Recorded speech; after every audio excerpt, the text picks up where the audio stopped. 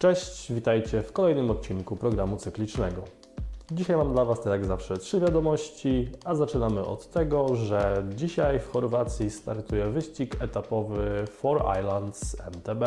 I w tym wyścigu dość niespodziewanie i tak chyba trochę w ostatnim momencie, bo wcześniej nie było takiej informacji, zdecydowali się startować zawodnicy Cross Racing Teamu, czyli Bartłomiej Wałak i Fabian Giger.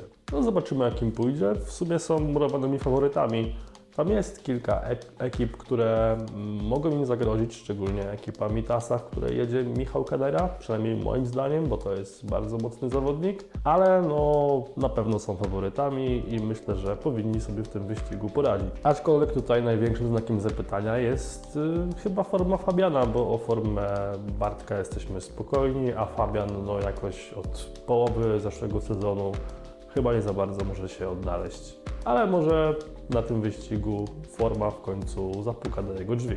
Teraz trochę będziemy mówili o sprzęcie, bo wczoraj firma Goodyear, czyli no znany producent opon samochodowych i wyścigowych do samochodów, zapowiedziała, że będą produkować opony też do rowerów i pokazali parę tych modeli i tutaj Wam e, pokażę modele MTB, e, które zapowiedzieli, że będą w produkcji. No nie są może to jakieś e, tutaj powalające parametry tych opon, no ale wiadomo, że to jest jakiś ich e, pierwszy strzał, jeśli chodzi o te produkty i może w przyszłych latach e, będą chcieli trochę więcej tego tortu sobie uszczknąć, jeśli chodzi o rynek opon rowerowych. Trzecia wiadomość to będzie informacja o premierze filmu, bo wczoraj miała miejsce właśnie taka premiera.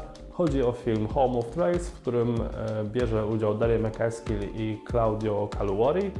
E, no i to jest film, który pokazuje ścieżki w Szwajcarii i to takie całkiem konkretne ścieżki Szwajcarii, a skupiają się tam na regionie Gryzoni, czyli Graubünden.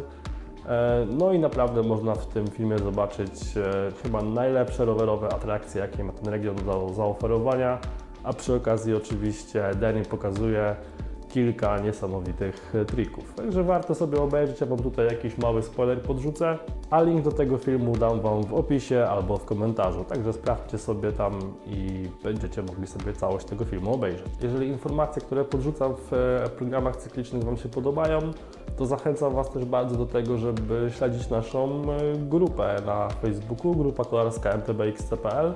Ja Wam też e, podrzucę w opisie filmu link do tej grupy bo tam e, większość z tych informacji, które przekazuję Wam w programie cyklicznym, też podrzucam właśnie na grupie, czy to w formie grafik, czy to w formie tekstu, ale tam zawsze większość tych informacji też się znajdzie. W dzisiejszym odcinku to już wszystko. Ja Wam serdecznie dziękuję za uwagę. E, w piątek może tak się zdarzyć, że nie będzie filmu, ale zrobię wszystko, co w mojej mocy, żeby się udało ten e, kolejny odcinek nagrać. Na dzisiaj, tak jak powiedziałem, to już wszystko. Do zobaczenia kolejnym razem. Cześć.